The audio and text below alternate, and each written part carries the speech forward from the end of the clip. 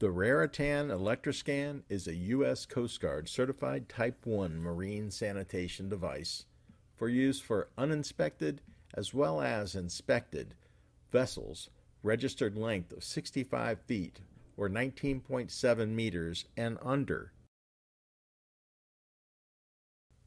The unit must be operated in areas that are not declared a federal no discharge zone by the U.S. Environmental Protection Agency.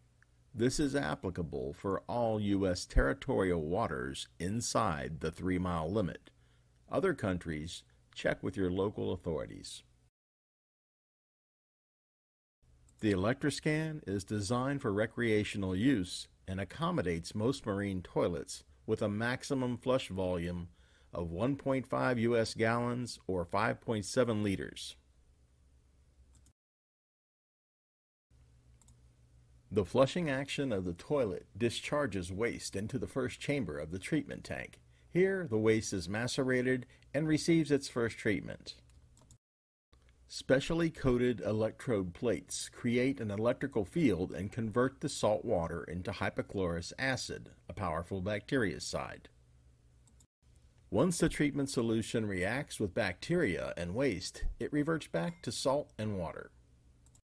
The next time the toilet is flushed and new untreated waste enters the first chamber, some of the treated discharge enters the second chamber. While the new waste is being treated in the first chamber, the contents of the second chamber are stirred and treated again. Each successive flush moves the previous toilet discharge through the electroscan and eventually overboard. When the discharge enters the marine environment, virtually all the pathogens have been eliminated. The electroscan is based on salt. The addition of a salt feed system may be necessary if the toilet's inlet flush water is not ocean grade salinity. With the automatic injection kit, salinity is monitored by the unit's control panel and salt solution is automatically added as needed. A small amount of water supplied by the boat's pressurized freshwater system maintains the water level in the tank and continues to generate saturate salt solution from the solar salt. During the processing mode, the electroscan control can call for salt to be injected into the treatment unit as needed for proper operation.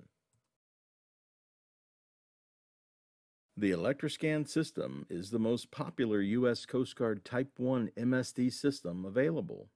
The unit's power consumption has been reduced by 36% at only 1.2 ampere hours of power per cycle.